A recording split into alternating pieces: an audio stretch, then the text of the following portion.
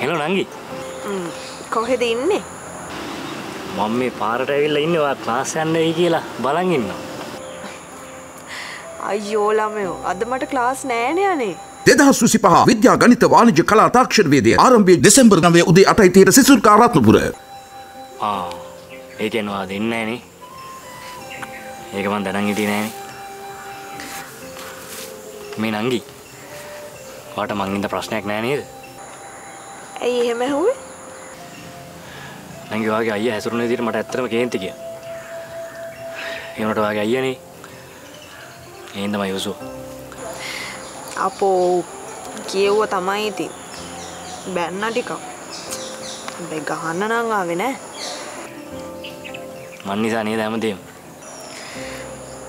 ඒකට කමක් නෑනේ ඒ දේවල් එහෙම වෙද්දේ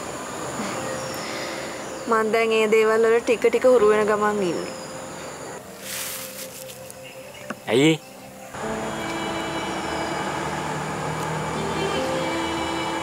මං ඒ කෑම එක හැදුවේ හරි ආසාවෙන් දැක්කනේ ඒකට එයා කරපු දේ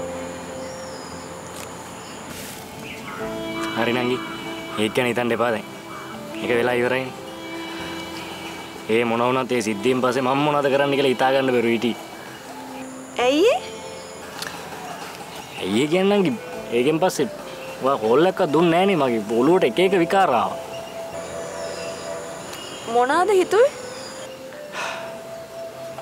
මට හිතුණා ඔයාලට බයින්න ඇති, ගහන්න ඇති. එහෙම නැත්නම් ඔයාගේ ෆෝන් එක අරන් ඇති කියලා තමයි මම කෝල් එකක්වත් ගත්තේ නැත්තේ. එහෙමනම් තව ප්‍රශ්නයක් වෙනවනේ.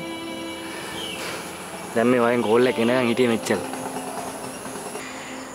ඒක නිතින් අනේ මන් දැන් මේ කෝල් කරේ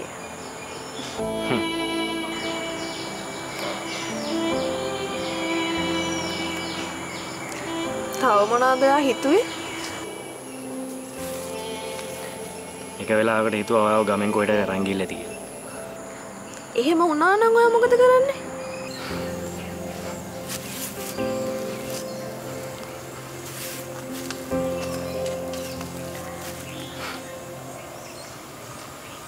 ඔයා මොන ලෝක හිටියත් මං ඔයා හොයන් එනවා නංගි.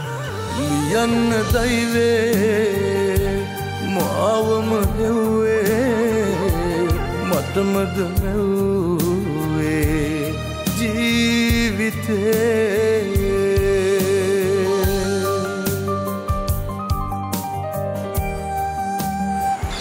ඔයා එච්චට මං ගැන හිතනවද ඔව්.